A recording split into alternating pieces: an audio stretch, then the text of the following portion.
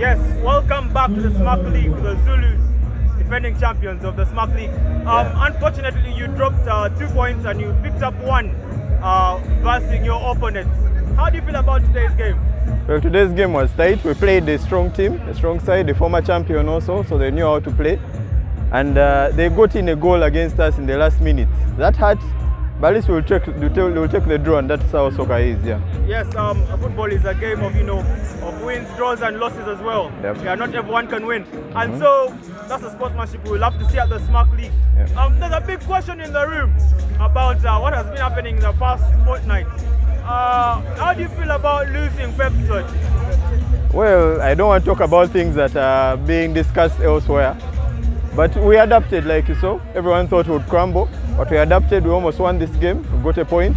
But those are things that are, he's not yet lost. Those are things that still, are still up for discussion and all. Yeah, I don't want to talk about that in an interview. Fair enough. Yeah. And so the Smack League is more than just football, more than just uh, claims and lots of issues beyond here.